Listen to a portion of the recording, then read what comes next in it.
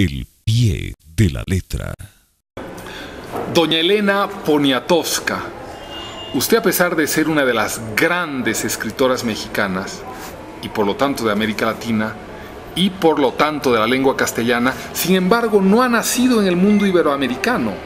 ¿Dónde nace doña Elena Poniatowska?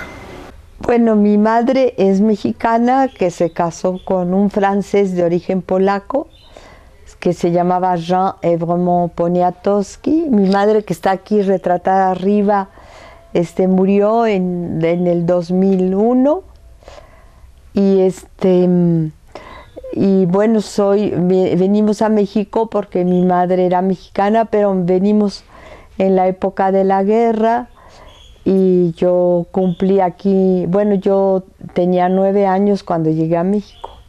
Aquí ya cumplí los diez años como tengo 72 pues obviamente tengo 62 años de vivir en México.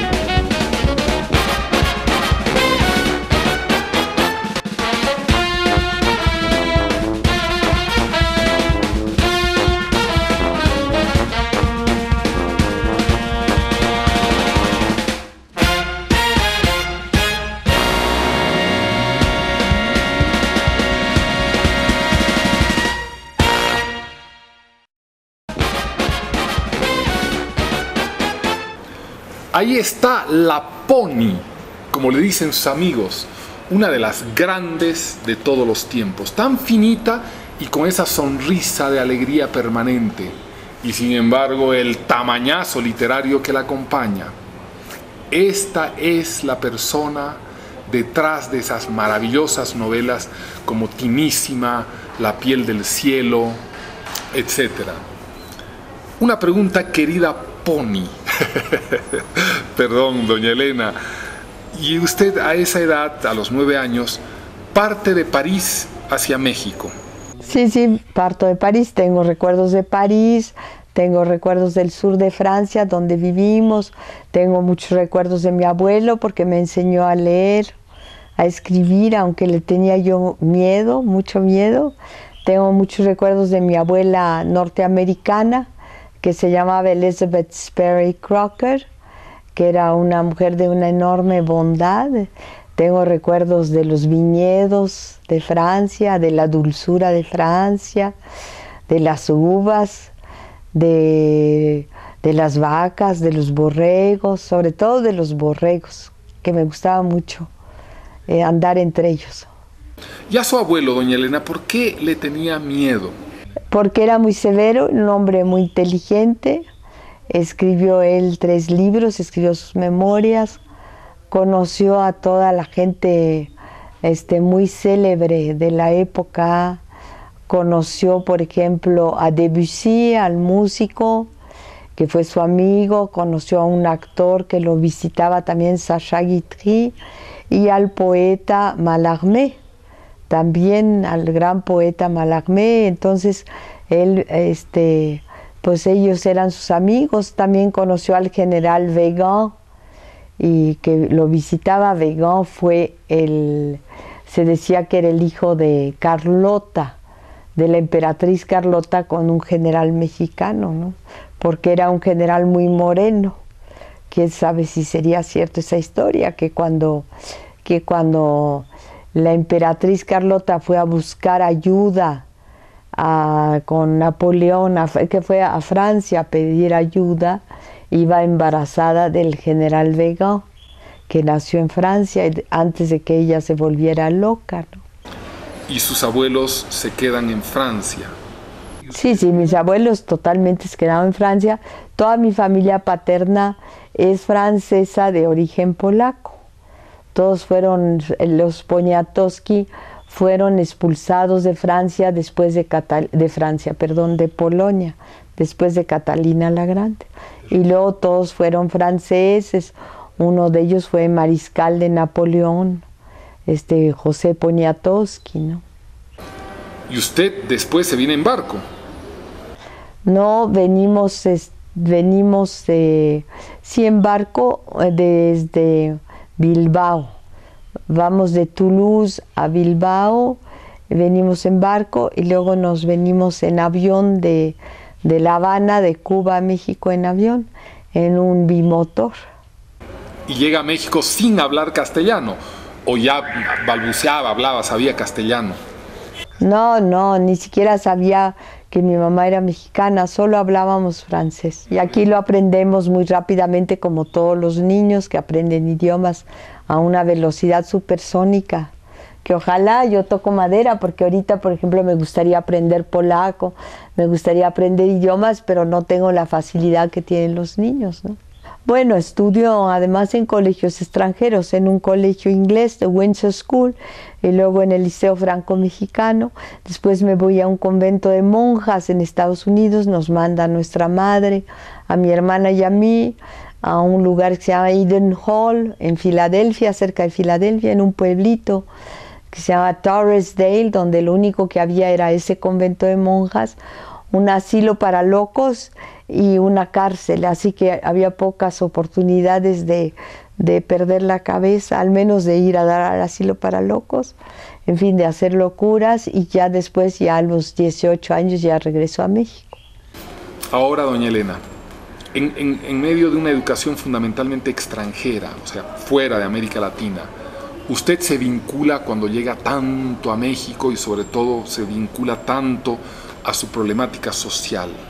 ¿Cómo, ¿Cómo viene su interés por la problemática social mexicana? A través del periodismo. Empiezo a hacer muchísimas entrevistas en el periódico Excelsior a partir de 1953. A mediados de 53 ya me inicio, hago una entrevista diaria durante un año, empiezo a conocer más mi país, a la gente valiosa de mi país, Entrevisto a Diego Rivera, a David Alfaro Siqueiros, ya Orozco había muerto.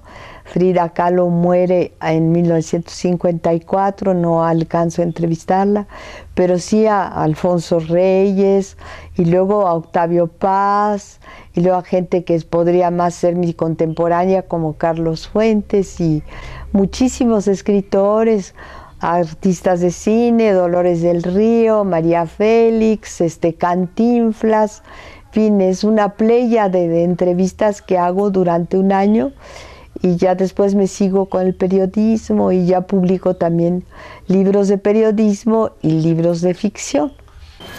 Doña Elena, sin duda el periodismo es lo que marca su acercamiento a la, cosa social, pero, pero tiene que haber ya precediendo un alma sensible para que ese acercamiento, digamos, tenga un terreno fértil, para que ese acercamiento se produzca.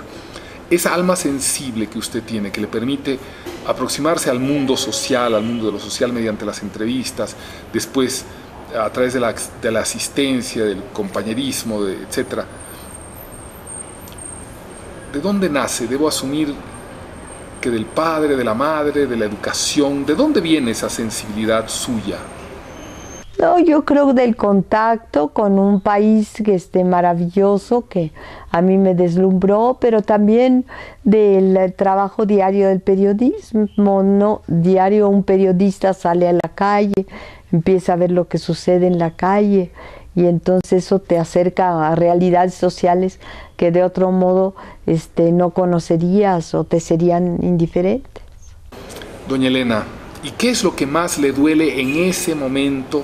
De México. ¿Es lo mismo que le duele hoy? Me duele mucho de México ahorita la corrupción, me duele la violencia, tenemos el dudoso privilegio de ser la ciudad más grande del mundo que, y además una ciudad muy difícil. Yo llegué a una ciudad muy transitable, en donde que se podía caminar, que se podía ir de una casa a la otra. Ahora es muy difícil todo eso yo creo que es importante que lo saberlo, ¿no? Y es triste porque eso no se lo dicen a uno en otra ciudad del mundo, que usted tome tantas precauciones para poder vivir en esta ciudad. Y lo que le dolía en los años 50, cuando usted empieza el proceso periodístico, ¿qué era entonces lo que más la conmovía? Bueno, en era una ciudad donde había muchísimos perros de la calle, yo creo que ahora todos los han hecho taco porque ya no hay.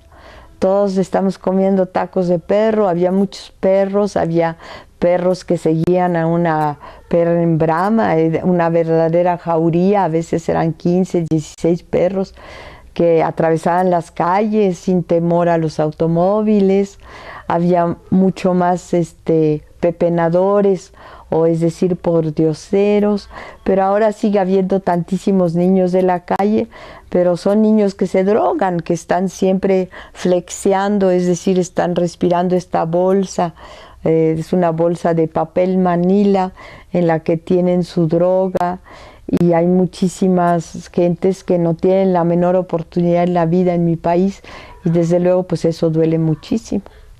Nunca había sufrido tanto como en esta reencarnación ya que en la anterior fui reina. Más adelante. Pero a quienes yo más veía eran los presos que estaban más amolados, que no recibían visitas, que no tenían un centavo.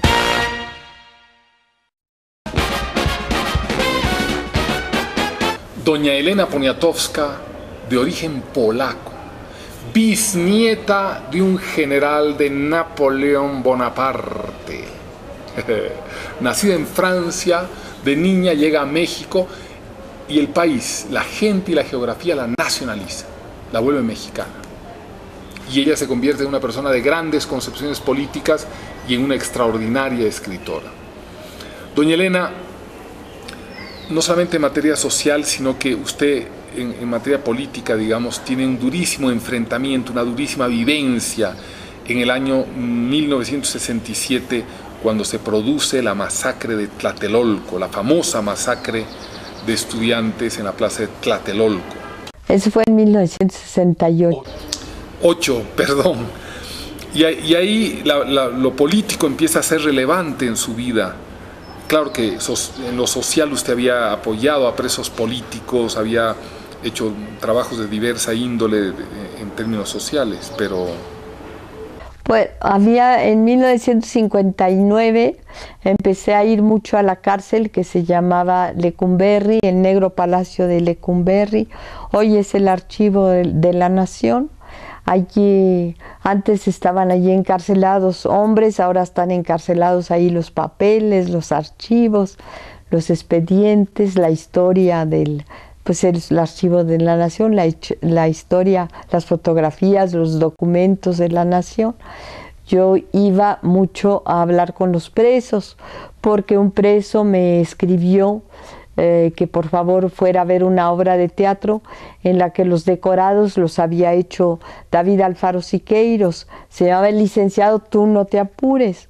Y empecé el trato con presos políticos muy importantes, sobre todo los ferrocarrileros, con Demetro Vallejo, un líder ferrocarrilero que había logrado paralizar todo el país y con otros que estaban allí encerrados en distintas celdas.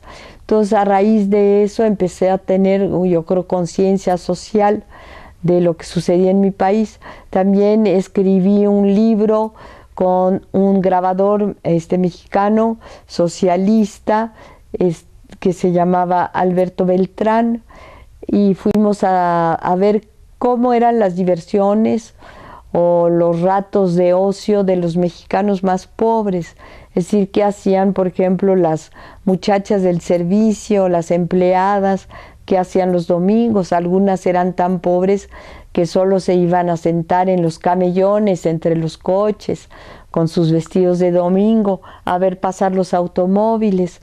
Fin, visité muchas partes de México, con él hice un libro que se llamó Todo empezó el domingo y también ah, este, fui mucho a la cárcel, a Lecumberri, a ver cómo era la vida de los presos, a escucharlos y así empezó la relación pues con un mundo para mí desconocido y que no tenía casi nada que ver con mi familia, ni con mi situación social, ni económica. Y eso fue un aprendizaje maravilloso. También otro aprendizaje maravilloso que me acercó mucho a la gente fue el trato con, con Josefina, este, se llamaba Josefina Borges o Jesús Apalancares, así la llamé. Era una soldadera que hizo toda la Revolución Mexicana y a quien la Revolución Mexicana no le dio absolutamente nada a cambio de su entrega. Vivía en condiciones de miseria. Entonces fui a visitarla, me contó su vida y ese fue otro acercamiento con un mundo que de otra manera pues también me hubiera sido ajeno, ¿no? Fue en la cárcel de Lecumberri donde usted conoció, bueno, visitó a don Álvaro Mutis.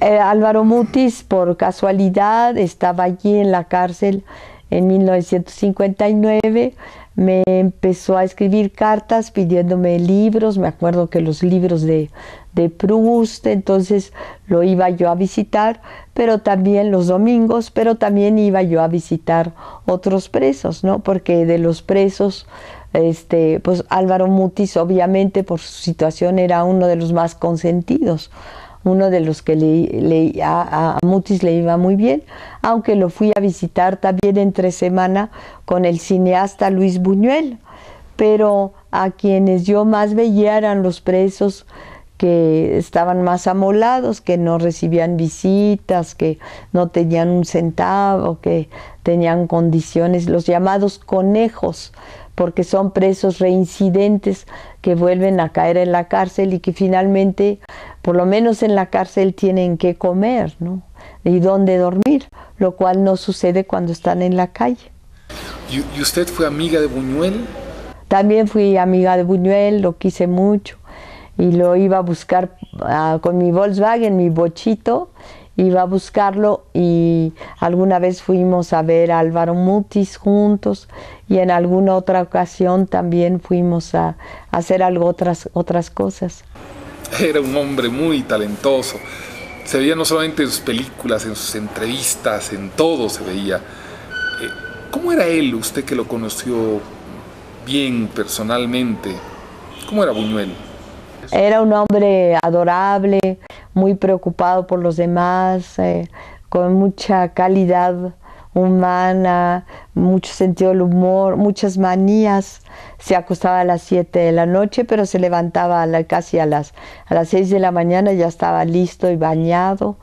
Y una capacidad de cariño enorme por los demás.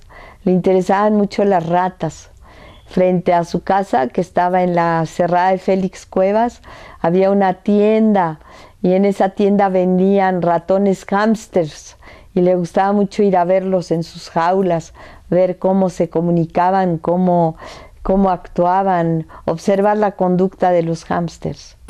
Doña Elena, ¿y usted tiene cuántos hijos? Tengo tres hijos y nueve nietos. ¿Hija? Tengo una hija, Paula, que está a punto de dar a luz ahora en el calor de Mérida, Yucatán, y voy a ir a estarme con ella, voy a ir a, acompañarla, porque tengo la suerte enorme de que los médicos me dejan entrar al quirófano y por eso pues es una gran emoción y una gran alegría ver nacer a un nieto. ¿Es su única hija mujer? Es mi única hija mujer, pero tengo dos hijos hombres, pero ahí sí, no sé si mis nueras les guste tanto que yo esté ahí presente. Además, este, una nuera está en Francia y otra nuera está en Puebla. Y además ahorita no están esperando hijos. Las monjas me caen todavía más gordas, aunque no estén embarazadas. Más adelante. Gracias al movimiento de liberación el, N, el es el este, Ejército Zapatista de Liberación Nacional. Gracias a este movimiento, el mundo entero se ha enterado de la situación de los indígenas en México.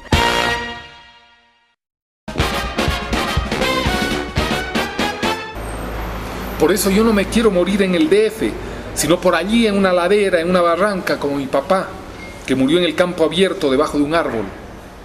Así me diera Dios licencia de caminar. Es muy bonito saber la, la hora de la muerte de uno. Yo se lo pido a Dios para preparar mi caminar hasta donde sea su voluntad y allí servirle de pasto a los animales del campo, a los coyotes, como Pedro el que fue mi marido. Página 422 de Hasta no verte, Jesús mío, esta maravillosa novela de Elena Poniatowska. Su obra es muy abundante, como ustedes saben, lo más importante es la masacre de Tlatelolco, La Flor de Lis, Tinísima, tiene cuentos, libros de entrevistas, libros de ensayos, en fin, para nosotros es un inmensísimo honor que doña Elena Poniatowska nos acompañe hoy día.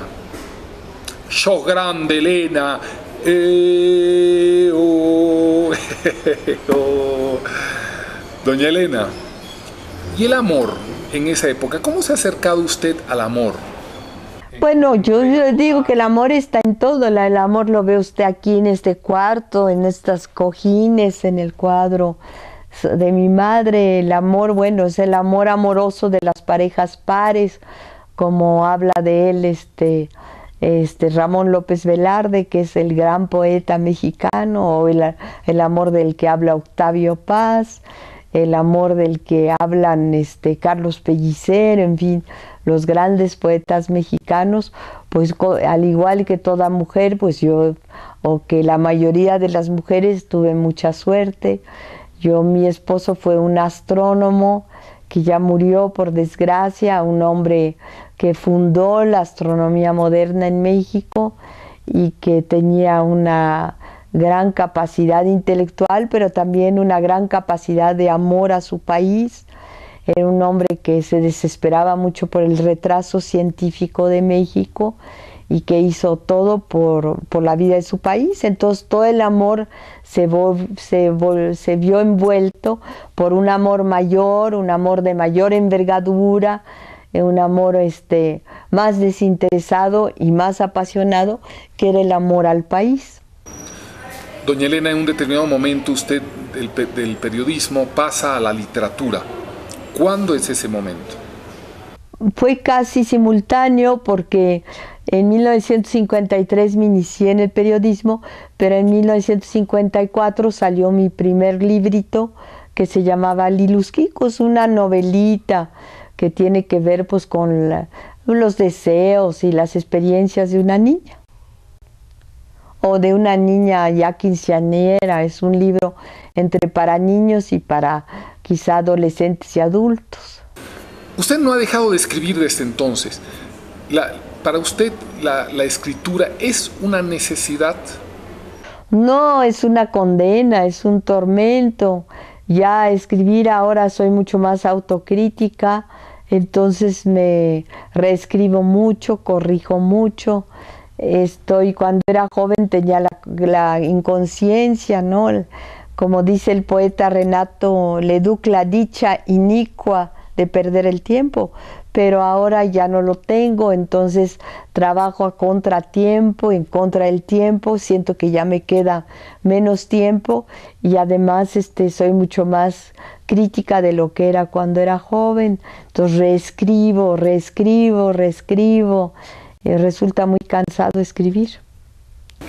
Para una persona fundamental en la cultura de América Latina como usted, doña Elena, ¿qué cree que hay que hacer de cara al futuro? ¿Qué, qué estructuras, qué cosas hay que construir? ¿Qué hay que hacer eh, individual y colectivamente? Bueno, yo creo que en, en el caso de México habría que, que las brechas sociales hay un abismo entre una clase social y otra y esto es muy terrible y yo creo que eso nos va a llevar a, problemas cada vez más graves. Hay que este, en, en México tenemos el problema de la corrupción política, que primero se decía que no importaba que robaran los políticos si hacían algo, pero ahora se ha visto que sí, que la corrupción es un pantano que todo se lo traga, es gravísima la corrupción en nuestros países. Luego, por ejemplo, nosotros tenemos 10 millones de indígenas que han sido olvidados, que son tratados como en tiempos de la conquista, que están fuera de la historia y que además viven en terrenos, por ejemplo, en tierras riquísimas como en Chiapas, donde hay petróleo, donde hay agua, donde hay todo lo que usted quiera y mande, y sin embargo los legítimos dueños han sido marginados, viven en las montañas o cuando y viven en condiciones de insalubridad y de abandono absolutamente aterradoras. Entonces todo esto, gracias al movimiento de liberación, el M, el EZLN es el este, Ejército Zapatista de Liberación Nacional, gracias a este movimiento, el mundo entero se ha enterado de la situación de los indígenas en México y ahora el indigenismo y la situación de los indígenas está en el tapete de las discusiones, lo cual yo creo es importantísimo, ¿verdad? Y este, por lo menos ya hablamos de estas cosas, ya no son tan invisibles y esto va a ser uno de los puntos más importantes en torno a los cuales nos tenemos y ya nos hemos unido muchos mexicanos. Doña Elena, hace varios años varios de nosotros apostábamos, creíamos, e incluso muchos dieron su vida por la revolución socialista, en mayor medida como una alternativa para todo este cuadro catastrófico de nuestros países, de divisiones de clase, de corrupción, de pobreza. ¿Qué tipo de alternativas hoy después de la caída del muro de Berlín, después de la caída de muchos idearios socialistas, ¿qué tipo de estructuras hay que construir? ¿Qué, qué, tipo de utopía hay que buscar? Bueno, yo creo que no se ha cumplido desde luego el sueño de Bolívar, que América Latina está totalmente desunida, que no sabemos lo que sucede de un país a otro, que es más fácil que yo encuentre un boliviano escritor, un escritor boliviano, por ejemplo, en Estados Unidos, invitado por alguna universidad norteamericana, que por ejemplo el libro de un escritor boliviano es muy difícil que lo encuentre yo en una librería mexicana. Lo mismo le va a suceder a un boliviano a propósito de México en Bolivia. Todo eso nos desune. Pero cosas no tan intelectuales nos, también nos unen. Antes Viruta y Capulina, en los 60, cuando yo era niño, Cantinflas, y ahora el Chavo del Ocho.